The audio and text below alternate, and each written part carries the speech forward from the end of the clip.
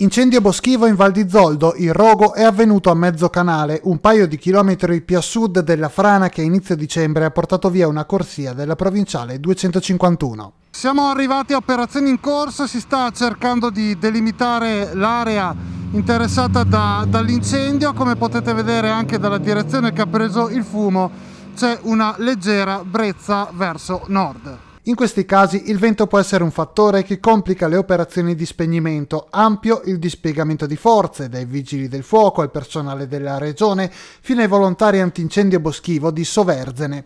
Data la collocazione dell'area a fuoco, ovvero in un luogo particolarmente impervio e distante dall'area di pescaggio, sono intervenuti gli elicotteri della regione con una serie di lanci mirati. Le operazioni di messa in sicurezza si sono protratte per diverse ore.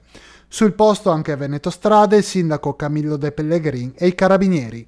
In molti in valle hanno notato l'alta colonna di fumo ben visibile anche da chi transitava lungo la provinciale.